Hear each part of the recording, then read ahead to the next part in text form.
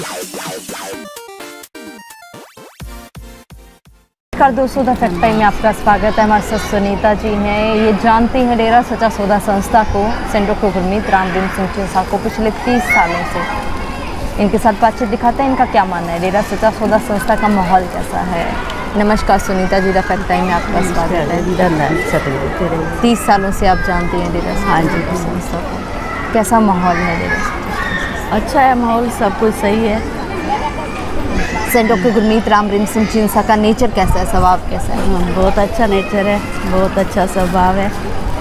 उन्होंने क्या किया है? समाज के लिए लोगों के लिए क्या काम किया है? मानवता भलाई के कई वो चलाए तो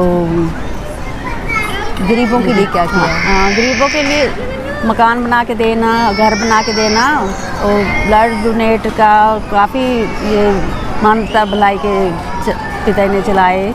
क्या आज उनकी ज़रूरत है समाज को? बहुत ज़रूरत है पिताजी की यहाँ पे बहुत ज़रूरत है।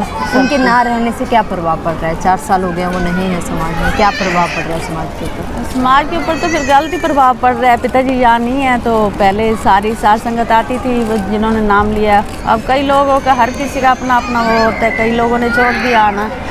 तो बाकी प्र- प्रभाव तो गलत ही है सब पे फिर मैम जो दूसरी तरफ़ संत डॉक्टर गुरमीत राम रिम सिंह जिनसा के ऊपर आरोप लगाए जा रहे हैं उसके बारे में क्या कोई वो ऐसी बात नहीं है। सब कुछ सही है। और पिताजी चाहे तो एक मिनट में ही आ सकते हैं यहाँ।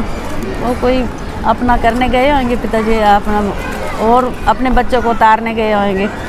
क्या आज उनके आपके क्या क्या अपील करना चाहोगे सरकार से संत के लिए बस हमारे पिताजी को जल्दी छोड़ दे हमारे पिताजी यहाँ डेरे आए हमें अपने दर्शनों से रहमतों से भरपूर आपको कितना विश्वास है गुरु जी के हम्म, बहुत विश्वास है। सब कुछ पिताजी ने गुरु जी ने हमें सब कुछ दिया किसी चीज़ की कोई कमी नहीं छोड़ी।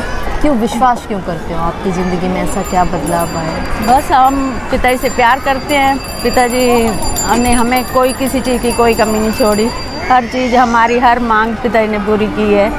जी, हाँ, जी बहुत बहुत धन्यवाद। लगातार हमारे साथ पब्लिक जुड़ रही है अपना एक्सपीरियंस बता रही है। जिनका यही मानना है कि जो भी दिखाया गया ऐसा कभी नहीं देखा जो रोप लगाए जा रहे हैं तमाम जूते हैं। आपकी क्या राय ज़रूर डालिएगा कमेंट बॉक्स में। देखते रहिए द फैक्ट बहुत बहुत धन्यवाद।